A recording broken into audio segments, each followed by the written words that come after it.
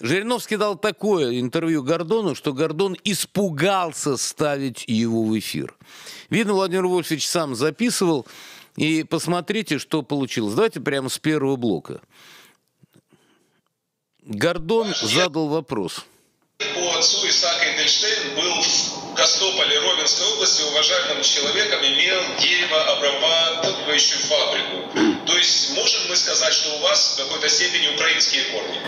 Ну, с точки зрения географии, конечно. Это та территория, которая под Польшей была Видно, определенное время лет. звуковую дорожку, И сегодня видео. уже почти Дайте с 40 фотографию года, всё, 80 лет территории Украины, это есть. Но это география. И в семье у них был русский язык, польский и французский. Украинского не было. Исходя из этой географии, немножко хотя бы украинцем вы себя чувствуете? Я никогда не чувствовал себя вот в чисто таком национальном плане. Я себя всегда считал русским. На Украину я ездил, но когда я приезжал, я не чувствовал, что это другая страна. Это была наша страна, общая. Поэтому здесь э, вот это вот вам желание, чтобы мы кто-то себя чувствовали украинцами. Я даже москвичом себя не чувствую. Потому что я не родился в Москве. Я, э, хотя живу уже 56 лет. Но я считаю, что это вообще вредные э, вопросы и вредное ощущение. Тогда армянин в Москве себя как должен чувствовать? Не армянином. Скажет, ты же в Москве, ты москвич, и все, или там еще что-то. Поэтому, когда вы делаете упор на национальность, религию, классовый подход, это очень плохо. Ваши родители были коммунисты, Дмитрий Ильич? Коммунисты. Это чувствуется у вас. Поэтому не надо этого подхода с такого, когда есть э, оценочный момент. Ах, вот вы из таких, э, вот не чувствуете ли вы себя украинцем? А зачем мне чувствовать себя украинцем? Это вы все должны чувствовать Почему вы себя не русскими. все. Жириновского? Русские это нас объединяет. Не только язык, который все знают и легче общаться, но это вот общее пространство наше. Пусть будут столбы пограничные, пусть будет какая-то история другая. Но пространство, вот русский мир, мы не можем назвать украинский мир. Нет такого понятия. Русский мир есть. Поэтому, Дмитрий Ильич, вы должны себя считать русским, и все проживающие в границах бывшей Российской империи должны считать русскими. Ибо после выхода из состава империи и Советского Союза вы все стали жить хуже. Жертв стало больше. Мир стал неспокойным. А сегодня Украина себя вогнала вообще в западню, когда она может вообще погибнуть в результате столкновения этих двух глыб Америка и Россия. Для Украины там места не будет. Поэтому здесь опасно вам. Надо чувствовать себя русскими, чтобы никто не замышлял использовать Украину как э, место для агрессии против России. Красиво сказал. Его, значит, Гордон пытается вот с одной стороны, с другой стороны. И говорит ему, Владимир Вольевич, я всегда с интересом наблюдаю за вами, слушаю. И, насколько я понимаю, вы не любите Украину и не считаете ее независимым государством. Скажите, почему? И Жириновский отвечает. Владимир Вольфович, я всегда с Ребят, перемотайте сразу за вами, вопросы Гордона, они очень плохо записаны. Подданство у русского царя православного. Они себя украинцами не называли. Они себя называли русскими. Язык русский, православные. А Украину придумали. Это искусственное. Это язык придумал Грушевский, а саму Украину придумали поляки, немцы, американцы, чтобы оторвать от России. Вы сами по себе никому не нужны. Надо оторвать от России, нужен подход какой? Национальный. Как сегодня волнение в Америке.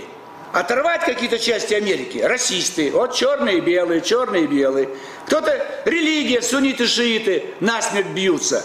Везде ищут. Коммунисты классовый подход. Только рабочие и крестьяне, вот они молодцы, все остальное это шелуха. То есть это опасный подход. Поэтому вам хочется это разыграть. За это платят деньги. Как за смуту в Америке сейчас платят деньги. Так и вам, апологетам украинства, заплатили деньги. Но все это вам сделали русские коммунисты. Ленин, Сталин, Хрущев, Брежнев. Вы даже Брежнева заставили в паспорте написать в графе национальность украинец. Какой он украинец, курский мужик? Поэтому здесь ошибка. Старайтесь от этого избавиться. Это не нужно. Это вредит нам всем. Поэтому мы все с вами славяне, русские. Не хотите слово русский употреблять? Просто вы киевлянин, вот давайте, а я москвич. Вот давайте географию. Земляки мы, понимаете? Мы все живем на этой земле. Нам нужна с вами ситуация, как в Америке. Посмотрите, что в Америке. Начало гибели Америки даже ее не пожалели. Не пожалели Китай, Российскую империю, Османскую, все империи разрушили, государства большие разрушили. Сейчас Китай разрушают. И до Америки дошла очередь. Я говорил в свое время, что Трамп последний президент США. Ее не будет в ближайшие 10-15 лет. Что вы будете делать без поддержки из Вашингтона? Вам конец. Подумайте об этом. Дмитрий Ильич, мы вам подберем работу здесь, в Москве. Вот Власов депутат займется. Вы можете его в Киев пригласить, из Чернышов тоже, они поедут. То есть упаковывайте конечно, чемоданы, Дмитрий Ильич, если вы хотите иметь хорошую работу. Ибо Украины не будет как государство, и она никому не нужна. Это все придумали. Немецкий генерал Гофман, Пилсудские, и вот сегодня эти иммигранты, которые живут в Канаде и так далее. Поэтому зачем это вы думаете? Вы можете пример привести? Вот вы как Косово. Взяли, придумали государство Косово. На чужой земле, Сербия. Вот давайте создадим Косово. Но оно же не имеет будущего. Кипр, Турецкая республика Северного Кипра. Никогда не будет. Кипр греческий. Навсегда, на вечные времена. И все Новороссия, Малороссия – это Россия. Вы войдете в состав России как губернии. Вот у вас 34 губернии. Давайте объединим 17 губерний, достаточно. В каждой, чтобы было по 5 миллионов – но у вас и не наберется населения, то у вас население 30 миллионов, это на 6 губерний. 6 губерний достаточно вам. Вот такой вариант. На Белоруссию достаточно 2 губернии по 5 миллионов.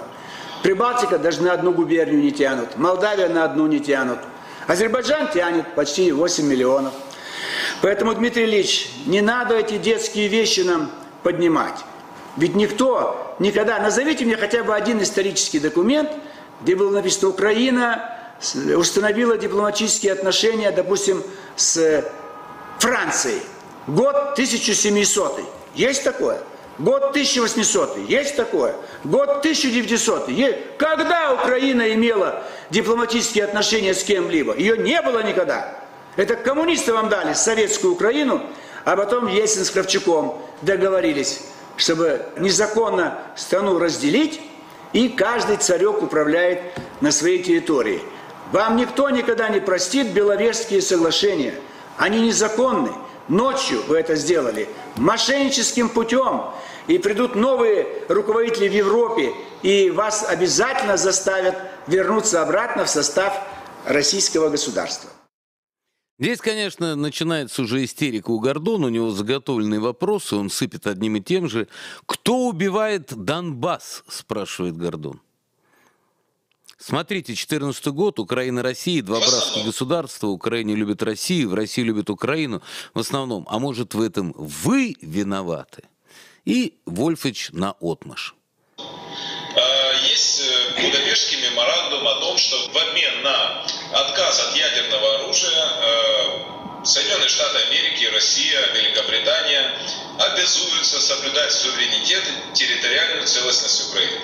У нас происходит беда. Наш президент Янукович, запутавшись вообще во всем, убегает из страны, и в это время наша братская Россия приходит на территорию Украины, отнимает у нас территорию, сначала Крым, затем часть Донбасса, убивает 14 тысяч украинцев, если не больше, сеет смерть, хаос, экономический бардак. И вы считаете, что в этом виноваты мы, а может в этом виноваты вы?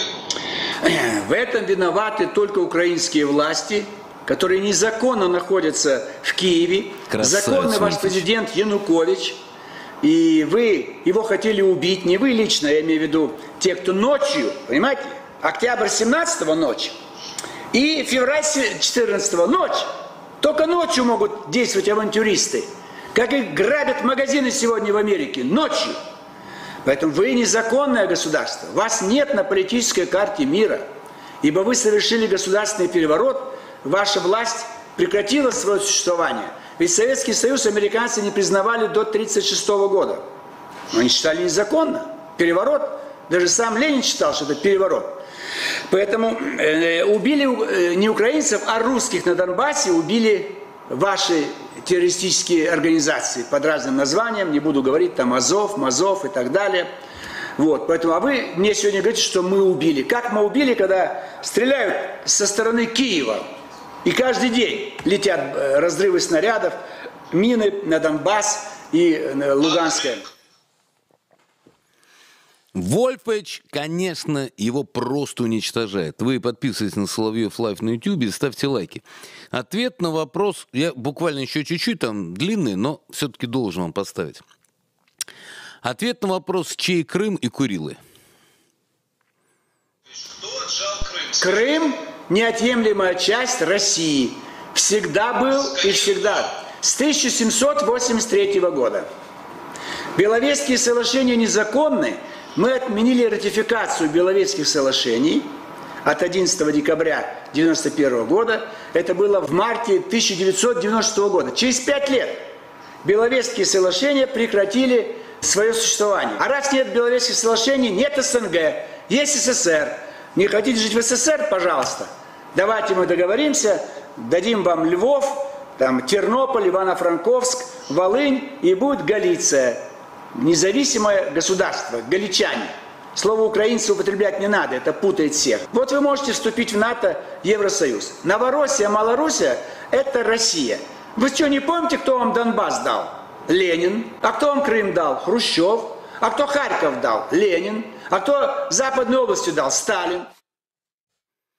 Вот так. Дальше много говорит Владимир Вольфович, у нас просто время не так остается, поэтому а, послушайте девятый блок. А, ну вот просто послушайте. Давайте дадим и голос Гордона, и ответ Владимира Вольфовича. Владимир Вольфович, я обращаюсь к вам сейчас Да. как к одному из самых умных людей э, в российском политикуме не только. Вы хорошо помните, я не сомневаюсь, 91 год. Никто в начале 91 года, даже вы, не мог сказать в мире, что в конце года Советский Союз распадется. И ни один из 18 миллионов коммунистов не вышел защищать Советский Союз на улице. Никто из КГБ, МВД, прокуратуры, судов, никто из массовой армии стукачей, никто не вышел защищать это фейковое образование. Э, Скажите, пожалуйста, понимаете ли вы сегодня, через 50 лет, когда вы все равно отдадите и Крым, и Донбасс? Никогда этого не будет, Дмитрий Ильич. Успокойтесь. Я вас уверяю, и над Харьковом, и Николаев, и Житомир придет время, взовьются русские флаги. Русский государственный флаг. Это будет. А о том, чтобы что-то вам... Вас не будет, Дмитрий Ильич. Кому отдавать? Все ваши президенты в тюрьме сгни... уже сгниют. Вы что, не понимаете, в каком мире мы живем? Америке конец. Европе конец. Китаю конец. Индии. Россия будет всем миром руководить. Потому что у нас самая сильная в мире армия. Мы можем полпланеты отутюжить, и вы ничего не поймете. Уснете вечером, а утром вас не будет. Ни вас, ни ваших городов. И американцы не поймут, что случилось. Их тоже не будет. Вы ничего не понимаете, что это 21 век? Пехота не нужна. Две-три ракеты и нету пол Америки. Или вся будет смыта. С одной стороны Атлантический океан, с другой стороны Тихий. Вы о чем думаете? Какая Украина? Вас на карте никто не может найти. Потому забудьте, быстрее упаковывайте чемоданы и бегите из Киева. Вы бежать должны оттуда. Потому что если хоть один снаряд упадет на территорию России, страна откуда был послан снаряд, исчезнет с политической карты мира. А у вас есть провокаторы, могут запустить снаряд. Специально, чтобы вас уничтожили. Не мы хотим вас уничтожить, но ваши провокаторы. Поэтому мир хрупкий. Сегодня нас 7 миллиардов, завтра будет 6, послезавтра 5, потом 4, 3, 2, 1. Вы что, не понимаете, для чего все эти революции сделаны?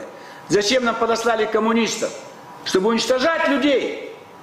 Зачем вам подослали демократов, ваш этот, Кравчук, Ющенко и прочие? Чтобы уничтожать украинцев? Вас было 52 миллиона в 91 году. Сейчас 32 не насчитаете. Где 20 миллионов? Тоже русские уничтожили. Поэтому вы должны знать, в какое время живете. Понимаете, вы живете Крещатиком. Живете там в Хинкале где-то у вас. Какой-то Саакашвили сумасшедший бегает по улицам Украины. Вы же, Дмитрий Ильич, должны понять, у вас есть хороший чемодан? Уложите вещи на вокзал. На Киевском вокзале вас депутат Власов встретит, так сказать. И даст вам какое-то жилье и работу. Вы первый можете сбежать из Киева, чтобы избежать ареста и гибели под обломками, развалинами. Потому что война будет страшная. Это не Вторая мировая, это последняя война. Когда исчезнут целые континенты, государства. Это все Запад делает. Финансовые воротилы, Ротшильды, Рокфеллер. Ведь Трампа кто сегодня мучает и до власти хотят допустить? Финансисты. Это Яков Шиф финансировал Ленина. И немцы финансировали. Вот получили, раз, мы, нас было бы сейчас 500 миллионов, а нас 150. Смогли же в три раза уменьшить? Вот задача населения планеты уменьшить в три раза. Не 7 миллиардов, а 2 будет. И только избранные будут. Так они хотят. Мы вынуждены себя защищать, поэтому давайте меньше думать про Крым, забудьте. Лучше э, ищите место, где вы можете жить в спокойной обстановке. Это только в России. В Москве не хотите, мы вас направим в Воркуту. В Воркуте, знаете, климат великолепный. Птицы на, на лету замерзают зимой и комом падают на землю. Но мне хочется, чтобы все люди более трезво смотрели на мир, что Россию больше никто не посмеет, не посмеет э, совершить агрессию, нас поработить, э, нас обмануть. Мы поняли, что такое коммунизм, демократия, видим, что такое расизм в Америке. Э, нас уже никто не обманет, Дмитрий. Вас обманули. Вы верите, что вам хорошо будет в Евросоюзе, в НАТО, а на Россию наплевать и пропади на пропадом. Но так думали в 41-м немцы. Но вы знаете, чем закончилось. Так думали монголы, шведы, поляки, турки, все, кто шел э, воевать на русскую землю, все погибли, все остались ни с чем. Поэтому у вас есть друзья, сегодня у вас есть время, позвоните, в понедельник ждем вас на Киевском вокзале. Встречает депутат Власов Василий Максимович, самый молодой депутат в Европе, а может и в мире. Слушаю вас, Дмитрий Ильич. Да, Дмитрий Ильич, конечно, тут затаился, упал в обморок и ему было тяжело. Я не полный текст поставил, но интересно, какая реакция. Гордон, конечно, понял, что эту флешку для Гаги передать не удастся, поэтому засунул себе ее в задницу, но понял, что там уже мало места, потому что там уже находился его язык и две пирамидки, которые он до этого пытался продать. Поэтому Гордон испугался, струсил и не выложил это интервью в сетях, потому что сказал, что иначе его просто размажут и возбудят уголовные дела против этого самого Гордона, потому что Владимиру Вольфовичу глубоко пополам на любые уголовные дела, которые против него постарается возбудить украинская власть.